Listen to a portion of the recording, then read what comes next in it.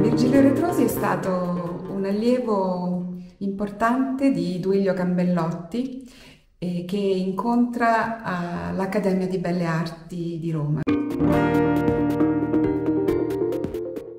Virgilio Ritrosi si occupa principalmente di ceramiche, ma in realtà è un artista artigiano che dedica la sua vita alle arti applicate e durante la sua vita, anche seguendo le evoluzioni politiche, economiche e sociali, cambia i suoi interessi, le sue attività e passa appunto dalla ceramica cominciata con Duilio Cambellotti a un'evoluzione prettamente grafica che svilupperà successivamente con una proficua collaborazione con l'Enit per poi diventare fotografo e sperimentatore anche di gioielli. Per la realizzazione delle ceramiche si parte essenzialmente da un'idea iniziale, cioè da un disegno preparatorio, che in particolare lui realizzava su carta da lucido, che permette poi di realizzare delle, degli esemplari semplificati.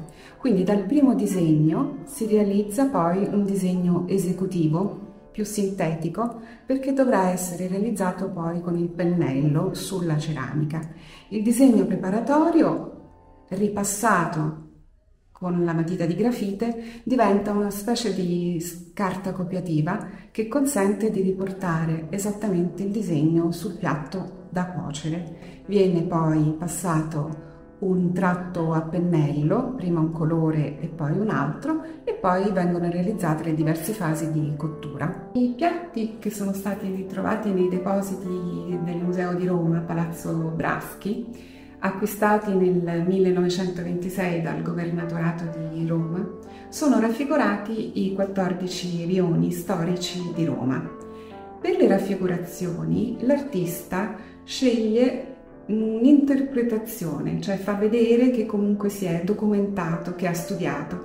E quindi per esempio nel rione Trevi non è raffigurata la fontana di Trevi progettata da Nicola Salvi, quella che vediamo oggi, ma addirittura risale all'epoca dell'imperatore Claudio e quindi propone un tuffo nel passato con fantasia e con notevoli dettagli, tra cui la trasparenza dell'acqua che fa intravedere l'arco romano. Il vasto rione di Campomarzio viene raffigurato con l'antico porto di Ripetta, dove sono messi in primo piano le barche che trasportavano il grano e il vino, proprio per far vedere l'importante attività economica di questo porto. Per raffigurare il rione di Sant'Eustachio sceglie la bellissima lanterna del, della chiesa realizzata da Borromini della Sapienza, Sant'Ivo la Sapienza, che un tempo era la sede dell'Università di Roma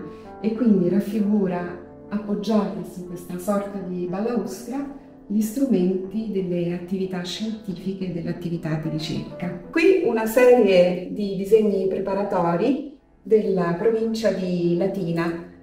E uno dei più interessanti è quello che rappresenta San Felice Circeo con il cranio ritrovato nel 1939.